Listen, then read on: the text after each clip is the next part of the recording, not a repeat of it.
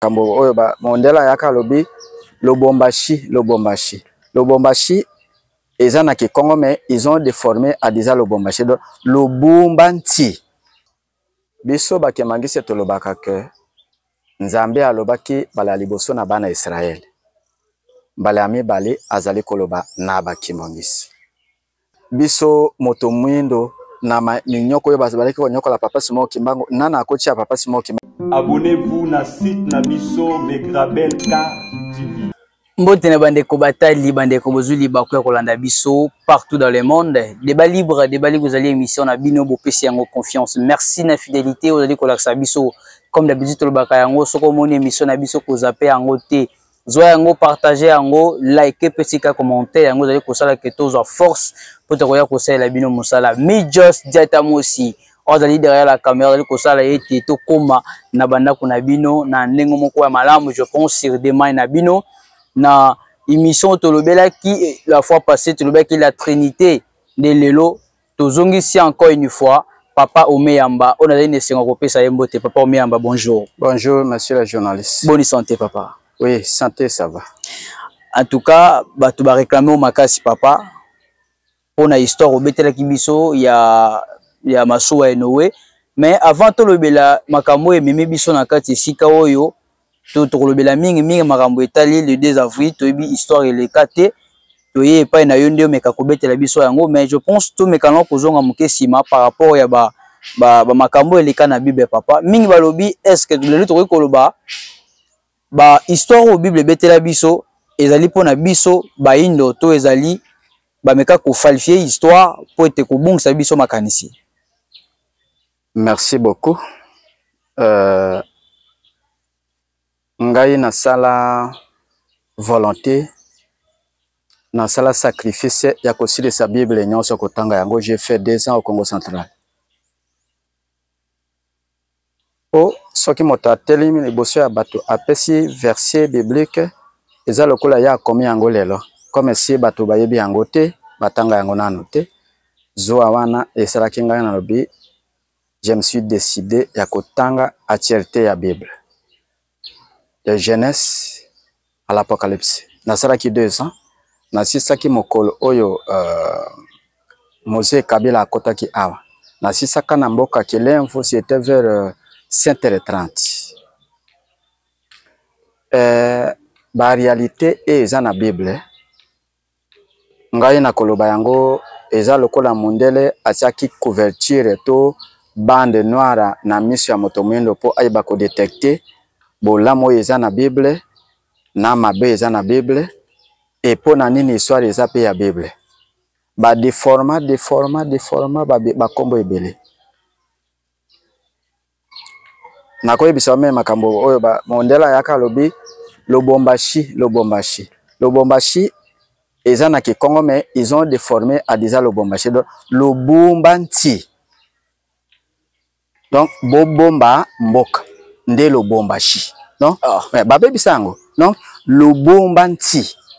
na lubumbashi wana ezalaka lubumbashi te eh, eza lobomba nti wana maloba ya tata kimanga lobi bobatela bo, bo mboka par exemple nakoma na congo central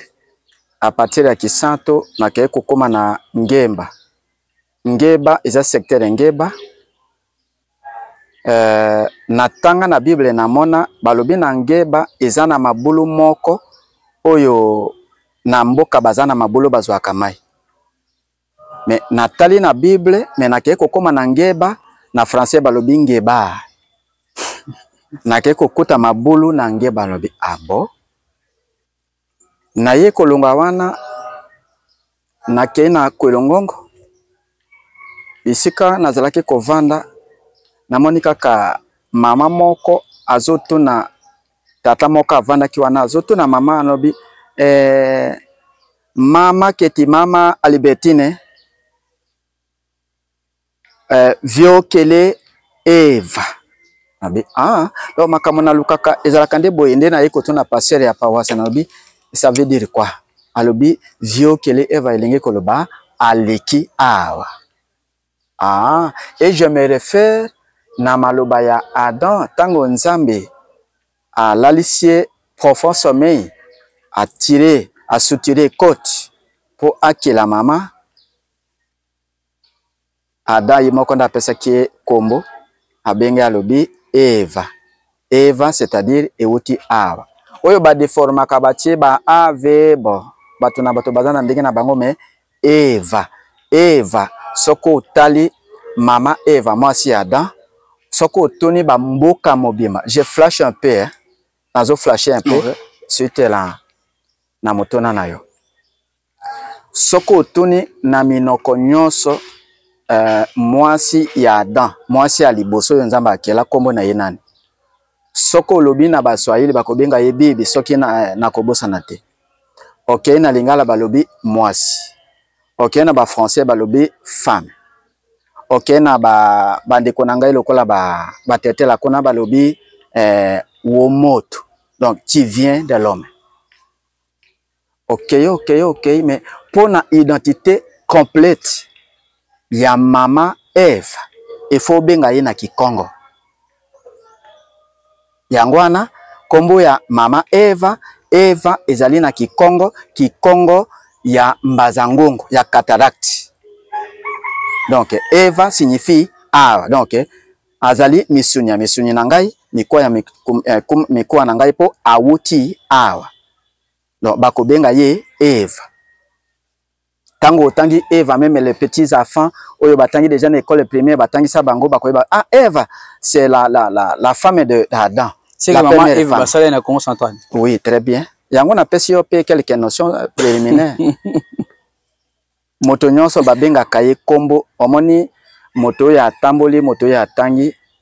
soki bayebisi yo ke oyo baza lipasa lipasa ya congo central okoyoka balobi ntimba na nzozi moto direct meme na television meme na radio akoyeba keno lipasa wana ya congo central soki balobi mpia na mbo directement moto oyo ayebi na soki euh, meme na radio oyoki bazotuna bazoloba nkombo ya mpianambo moto oyo ayebi mapasa ya, ya bandundu ya bandundu ah, mpianambo bal, bal... baza baza baza bato ya bandundu ah, okay. eh. kuna bazali ba bambui okay. eh. kuna na, na, na chiluba, na chiluba. Voilà. moto directement akoyeba ke no ah, wana balobi mapasa ya, ya bandundu ou bien mapasa ya baluba soki okei na batetela ba, ba kuna balobi shako eomba c'est-à-dire moto bayebaka identité na ye par rapport na nkombo oyo bapesa ye Donc mama Eve azalaki na identite mosusu te kaka oyo mobali na ye apesaki ye nsima ya profond sommeil oyo Nzambe alalisaki ye, asutire kote, akeli mwasi, alobi tala mosungi na yo yeyo. Ah,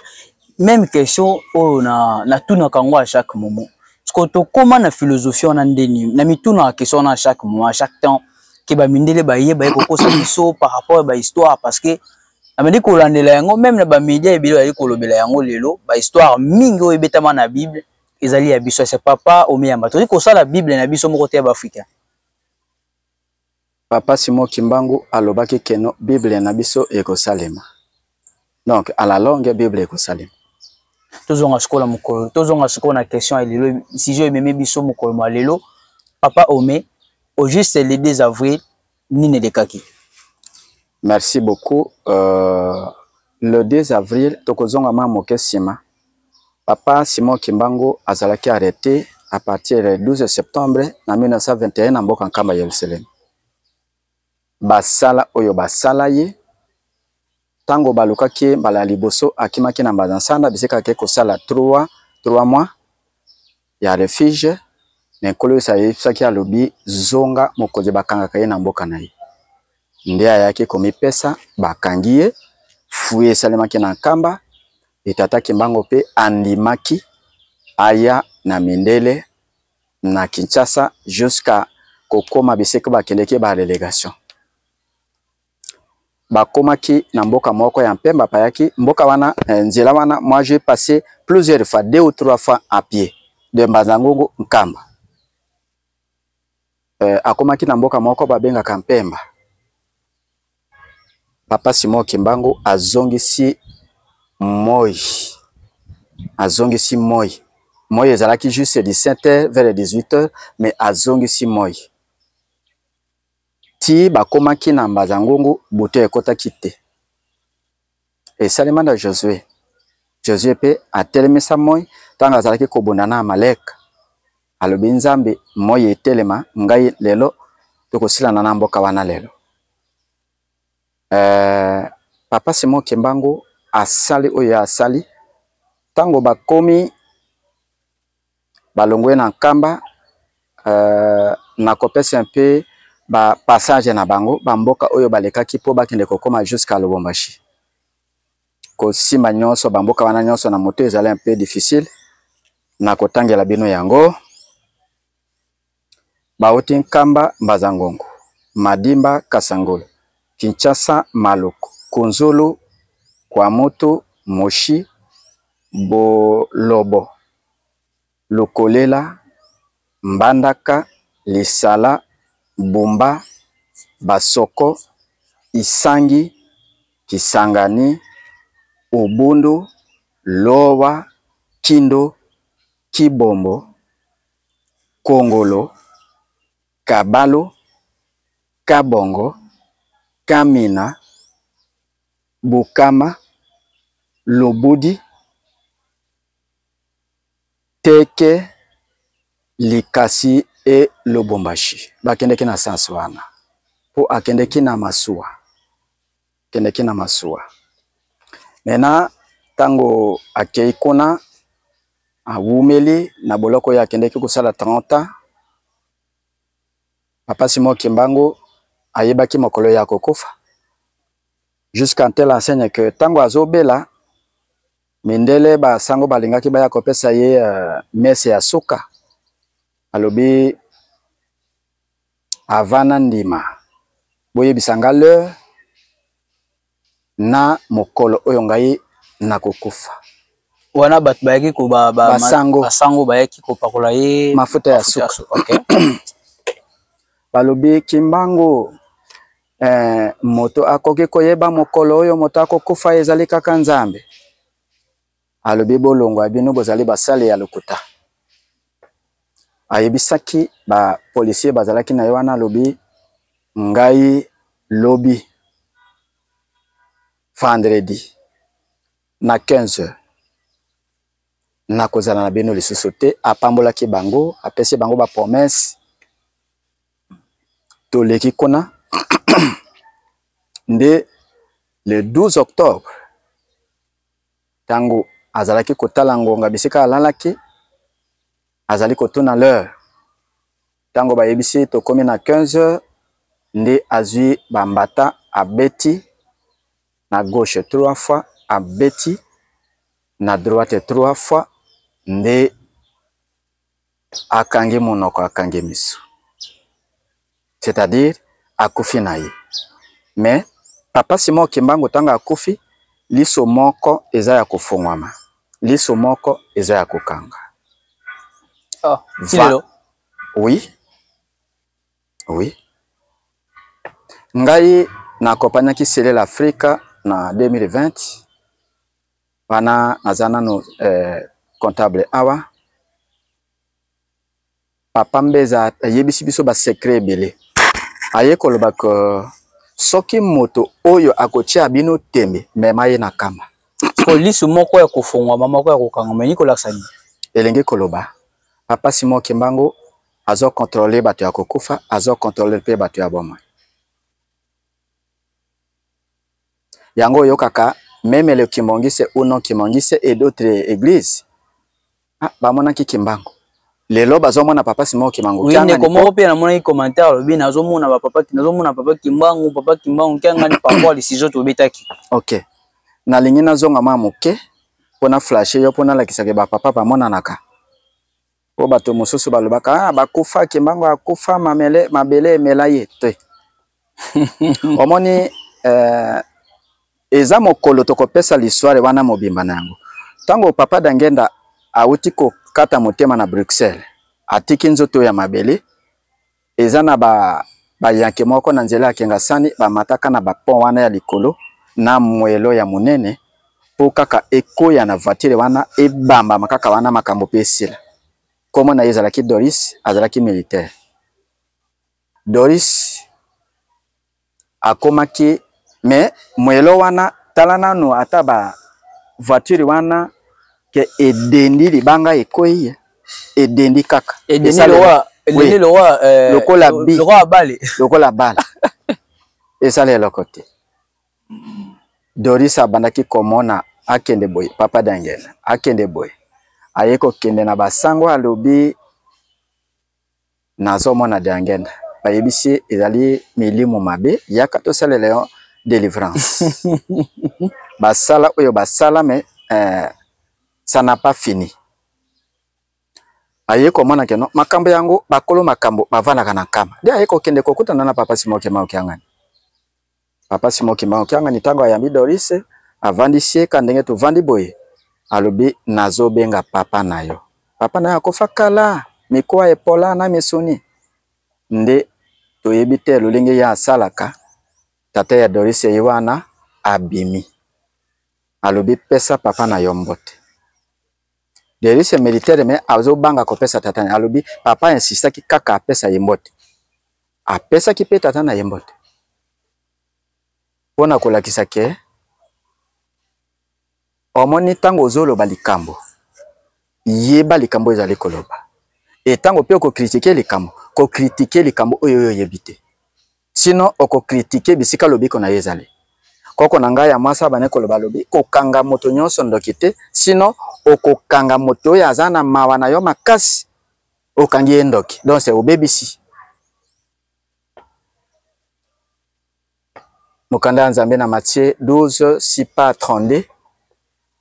alobi finga na yo tata nzambe okolimbisama ofingi nkolo yesu okolimbisama me soki ofingi molimo mosantu okolimbisama te nde tokei mpo na makambo etali date oyo tozali kosolola lelo parce que 4 février na 1960 papa dangenda fils cadet ya papa simon kimbango dangenda kontima oui okay. dangenda kontima joseph azui ba mbuta abengi bango alobi ngonga ekoki po tokende kozua corps ya papa nde bakei alobi bokende bazalaki delegation ya 15 personnes soko kosepela na ntangeli bango komi te papa okay Bakei kosala beko ya 3 jours na Matadi Mayo nde balandi papa na mokoto 87 bisika bande kovanda nde balobi tomoni papa alakisi biso il faut toyamba ye kaka na Matadi Mayo.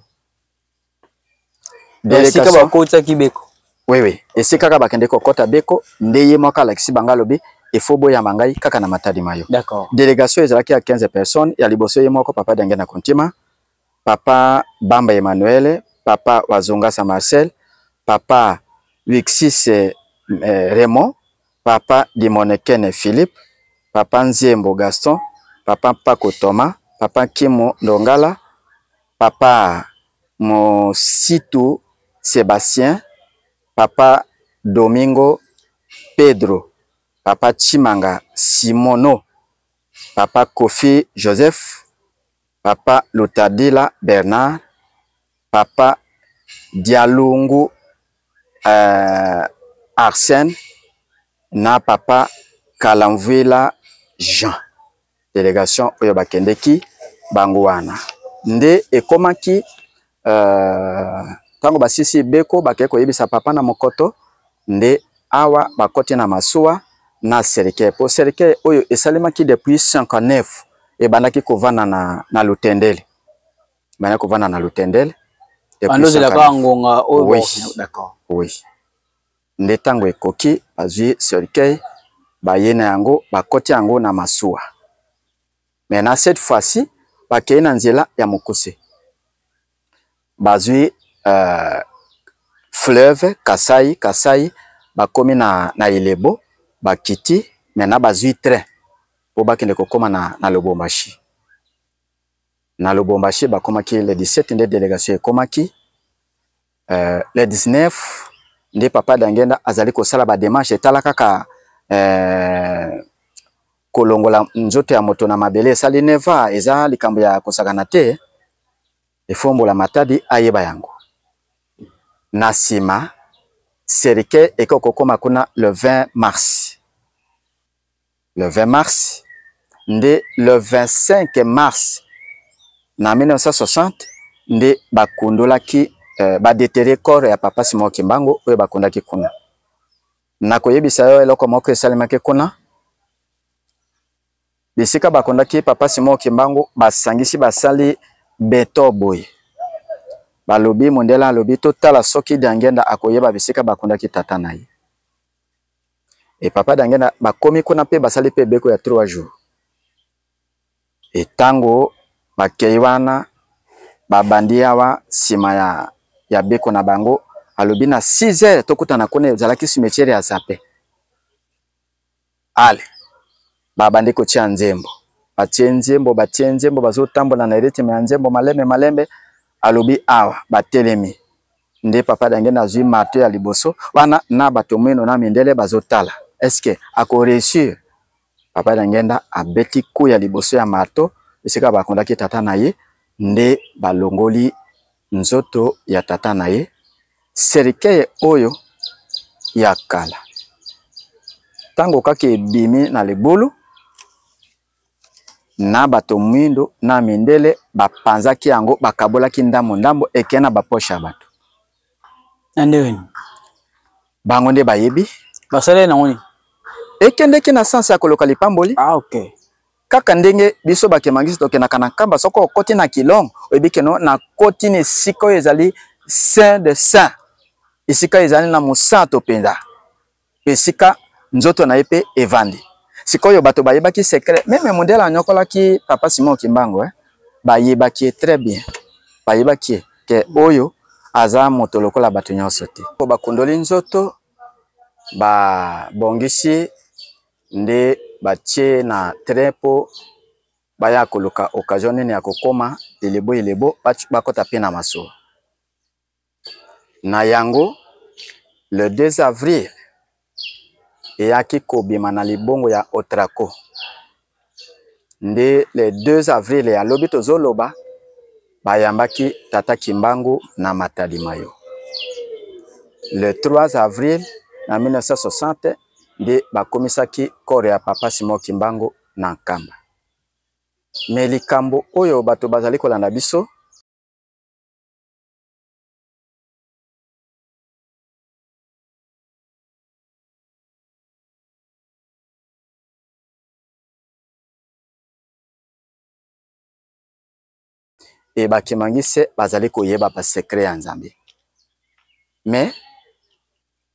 Na kolanda maloba ya Nkolo Yesu alobi, Ngai nakokende na kosengela bino mosongi mosusu ya kosala misala mileki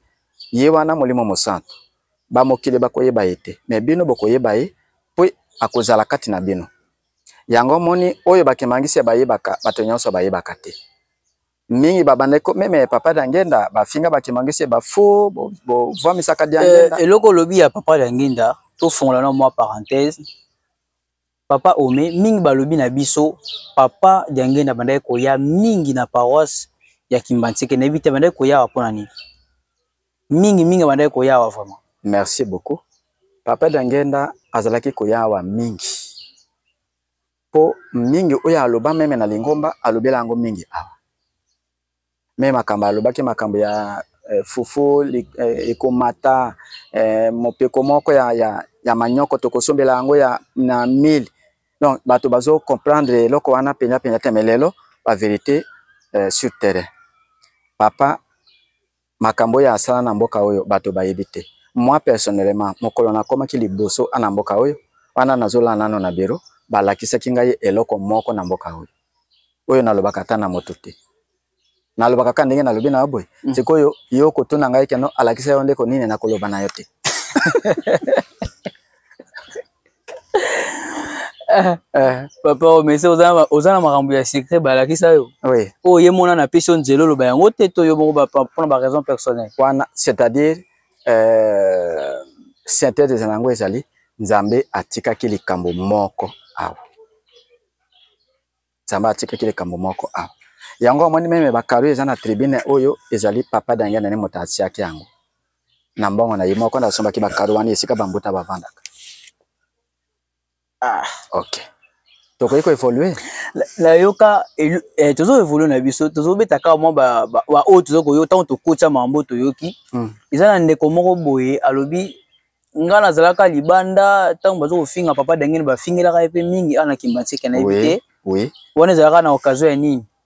alobaki bofinga na bino ngai mosukutu abi histoire mosusu ya, ya, ya, ya avi ezoleka alobi bango bakei soki ndenge nini toyebi te histoire yango soki oyebi yango omeka komeka korelante biso mpe mpo bandeko baye kolanda yo bakoka koyoka yango papa dangenda ntango azalaki kosalisa Ntinsani mpo na kotonga lingomba mpo occasion donc auto prise à charge ya eglise ya Kimangise ezali kaka biso moko bakimangise tosali makambo minene oyo omoni lelo ezala nkamba ezala baparoise oyo mena bato bazalaki kofinga ye me mokolo mosusu papa dangenda mwana ya 8 ans abengi ye dangenda moyibi papa atali alobi ah mwana oyo akozala na likanisi ya kofinga ngai moyebi te soki bayaya na ye mama na ye oyo tata na ye bafingi nga na matoi na ye nde ye ayebi keno diangenda moyibi à l'occasion de rien kaka afingi moyibi à l'occasion de rien oh. yango omoni papa diangenda ntango azosalisa bantinsani bazali kobenga ye moyibi moyibi Maintenant, moyibi babengaki papa Dangenda, mangoma nyonso eye lelo, babenga yango semence.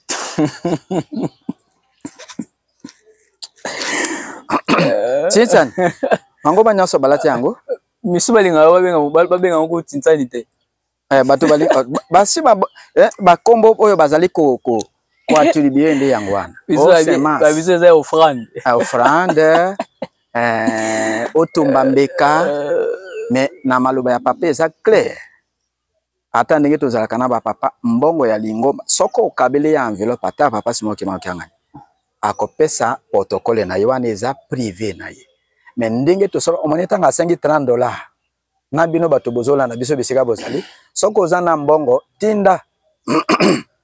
soki otindi journaliste apesaka banimero na ye obengi okoyeba ndenge nini 30 dollar wana ekoya ntango asengi 30 dollar na mokili mobimba bavolontaire bapesaki le kimangisi ono kimangisi bapesaki esombi agent agent wana ekomaki deja na nkamba banda mokolo papa akomaki na nkamba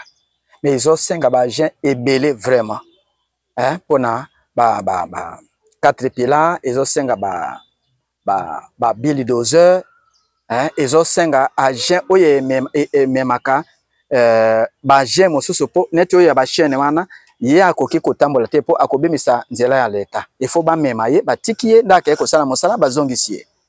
donc oyo bazolanda biso nyonso wana mpona misala ya misala ya kotonga yelusalemi oui mpona kotonga nkamba yelusalemi Maintenant, tango ba pesi mbongo, ayokaka kaka,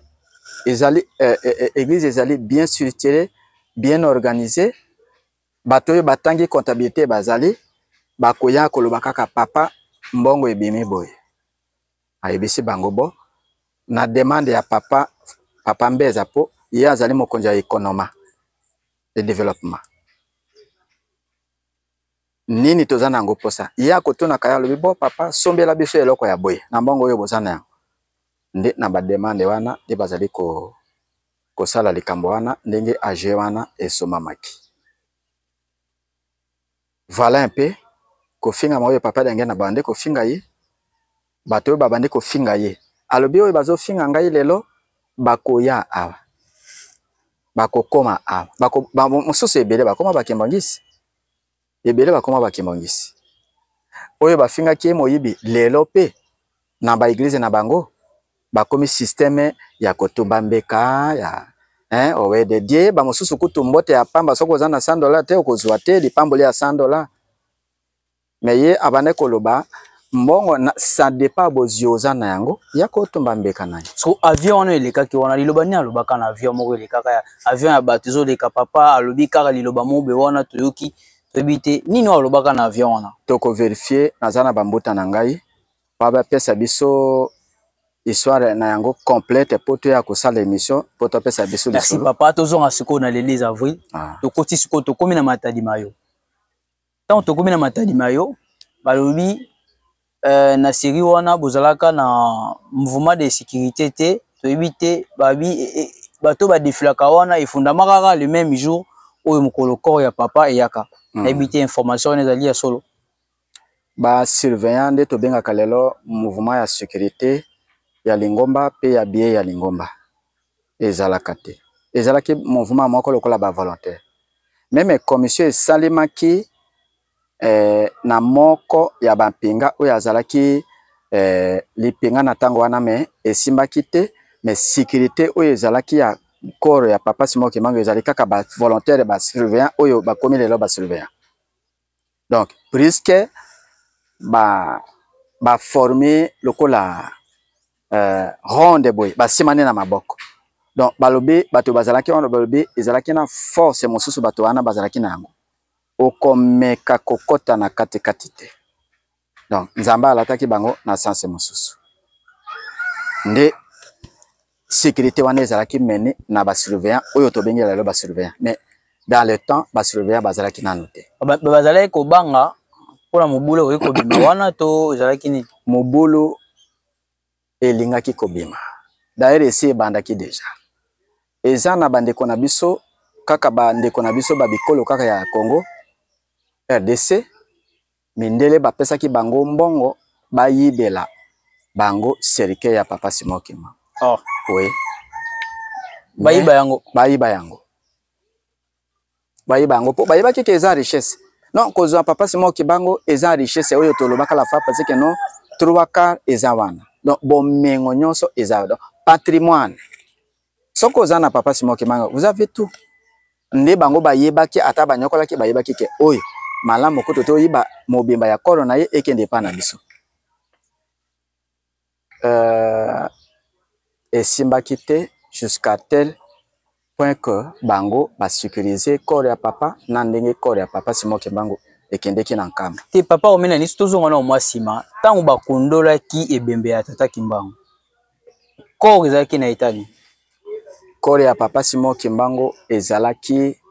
na etat lokola moto alali pongi po bato batiaka tembe mingi azalaki nzoto na ye ezalaki ya kopola te ata moke ni solo ah. azalaki kodegage ata odere moko te papa meme batia bakisi te Papa biso moto mwindo na minyoko oyo bazalaki konyokola papa Simon Kimbangu nana akotia papa Simon Kimbangu kisi meme soki kisi ezali nana akotia papa Simon Kimbangu kisi kisi nini oyo bango batiaka kuna na nkambo oyo moto akufaki depuis 50 ti lelo toza na 2024 mais bakunda ye na mabele te Papa Kimbangu, bakunda ye na mabele te, okei ndenge tokotaka kuna soki ozwi opportunité ezali mwa escalier ka ndenge to boye après nzoto na ye ezali awa oye otuti motu na yo ye wana liso moko ya kokanga moko mpe ya kofungana ti lelo ti lelo bato bazali kobeta lisolo balobi eza idolatrie moto akufi bokoki koya kogumamelaka ye te kosambelaka mpo na ye eza idolatrie te soki toteyi na napesaki ba référence moko tosololaki matthieu 24 kasi yango ememi misusu tozonga lisusu parce que y avait trop de réaction ya bato eh. par rapport ya makambo olobaki omoni vraie église tolongola nano makambo ya bakimongisi ndenge nkolo yesu asololaki na bayekoli na ye apesi bango uh, uh, baadresse alobi bokoyoka bakoloba bakobimela na esobe bakozala na chambre bokende te me bisika ebembe ekozala bisika esika makambo ekozala bisika bandeke minene les engle eh, bakokutana bako eza maloba ya nkolo yesu donc esika lingomba soki olingi oyeba lelo bisika ebembe evandi ndenge nkolo yesu atikaki biso tozolanda na maloba nde ya nkolo yesu papa ome tokomoki deja koshite tokomi deja presque na suka nini tokoki koretenir mpo na date ya mokolo ya 2 avril bokoretenir eloko boye Euh, papa Simon Kimbango, papa Dangenda alobaka que non, il y a parallélisme. Et si ba commis euh, Israël na Bible remplacé par Kimbangisme. Pour na nini? Soko ke na mokanda ya Genèse 49 29 Jakob abengi mwana na ye Jozefu alapa ndai mpo mokolo akokufa, akonda ye na Egypte te, bisika bazalaki na bowumbu, amema ye na mabele na bango na Kana. Soko oye na Genese 50, obandi na 1, eh, joseph na egypte akei komonana na farayon lokola tata na ye akufi atikalaki kolapisa ngai ndai nakende kokunda papa na ngai na kozonga mokonzi aboyaki te apesi ye na delegation bakompanye ye elongwe kuna ntango oye na, na eh, chapitre 50 obandi na 11 ezalaki na esika moko bayaki kosala eh, matanga na bango juste babandi ba kokota na mabele ya kana babengaki yango matanga monene ya bato ya egypte deja babandi eh, kokota na mabele ya kana mais Nayebi te oyo asalaki histoire ke ya bana Israël eye kokokana kaka na bakimangisi na ba eglise mosusu yanapa tata kimbangu akendeki bowumbu ndenge jacob na bana na ye bakendeki bowumbu na egypte ntango bakei kuna papa simon kimbangu akei kokufa kuna ndenge ayokanaki na mwana na ye alobi ngai awa te efo nazonga na nkamba nde papa de angienda kontima joseph asalaki oyo nauti kopesa yo mwa molai ya, ya lisolo ya kokende kokundola nzoto ya papa na ye na ndenge bakomaki na matadi ma yo lobi ezalaki kolela mpo tala moto asali 30 ans donc bato ya congo central bato nyonso oyo bayebaki ezalaki emotion epa na bango donc bamboka wana nyonso bato bazotelema bazo donc yango omoni ke bakei kokoma juste la, na letora parce que bainscale ezalaki bakasangulu nyonso bamadima bakisanto bazali kotelema ti donc bute ekoti ba une heure ekokeli bango na nzela bakei kokoma na ntongo na nkamba mpo na nini matanga monene ya bakongo quelle coïncidence entre joseph oyo a ramener papa na ye na Cana et coïncidence ya Diangenda Joseph oyo a ramener papa na ye na na Cana oyo nakoki kopesa yo oyo nalobaki keno église ya kimongise ya parallélisme entre Israël voilà un peu oyo nakoki kopresente bino balande na biso likambo etali lingomba kimangisi nzambe alobaki na bana israele lela azoloba na bakimangisi e toza na basekre oyo bato mingi bayebi yango te etondi yo botondi merci beaucoup je vous remercie eh, tokomi na suka sinclair kongolo ah, vuza kevin ah, mijos datamosi asi ah, tokomi na suka ndeko batali euh, seredemai na bino nayambaki papa omeyamba je pense bolandi ye par rapport ya date ya le 2 avril oyo nayambaki mangiste ezali mokolo mingi ezali histoire ya molai mokolo yango ezalaki esengo kote mosusu ezalaki mpasi nde na yango papa ameki kobetela biso lisolo yango nde tolandi je pense bathematike mosusu tokoya na yango epai na bino botikela biso bacommentaire botikela biso bapreoccupation na bino tokoya mpo ete tokoka korépondre yango comme comme tosalaka yango na baémission nyonso je pense nde nalasaki message par rapport ya bandeko baza na mposa baleka benga kaka numero ezali na se wana bakoyebisa yo nini okoki kosala po ete mingi mpe ozali kokonstate bazali kosepela te bazali na bacontradiction par rapport ya makambo oyo tolobelaka awa yo benga biso tokoya tokoprepare no émission okoleka comme d'habitude merci na bandeko bazali kosoutenir biso euh, papa edi minzele couple nicole kimbangu papa nkunku roger euh, mama charneli mk abigaila pindi lwezulu tadila oyo napesi mbote esika ozwami nde eh, colonel ilo ya yo yango wana mama rite napesi yo mbote siko ozwami nde tolobi botikala malamu soki mokili oyo nano ekufi te biso na bino tokozala kaka toujours na kati ya chaine na biso megabel 4 tv mama suzi cote badevongo napesi yo mbote merci